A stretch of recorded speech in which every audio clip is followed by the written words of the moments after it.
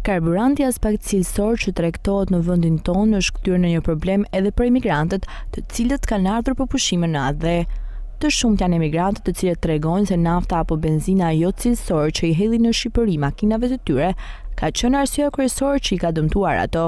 Cilësia e naftës është shumë e keqe, që nuk di kurrë ku me i mush. Ke frikë se mund të prishet makina? Normalisht. Ju vini nga jashtë? Po, ja.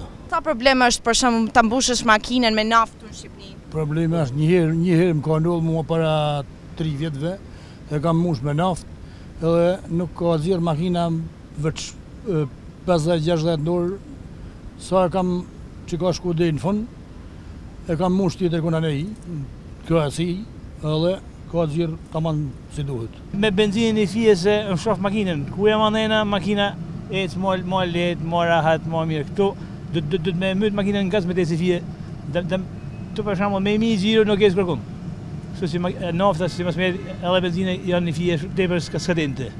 Po nuk është 95 për qind ton si thonë këta. Makinën që kam parë vitin tjetër, m'u desh kur kam shkuar t'i me ndrru tana. Filtra tana se ishin injektorët e naftës ishin blloku. Prej naftës t'keqe.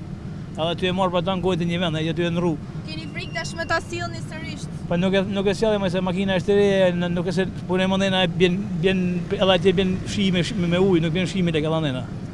Nuk e se ne kena namin e tokë të po. Çmimi për për këta që jetojnë këtu çmimet janë shumë të larta. Krahasim me Malin e Zi që është 23 kilometra.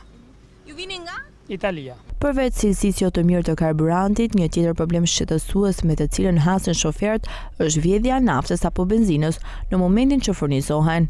Sipas shoferëve, kompani të caktuara të karburanteve që operojnë në vendin tonë e bëjnë shpeshherë një gjë të tillë.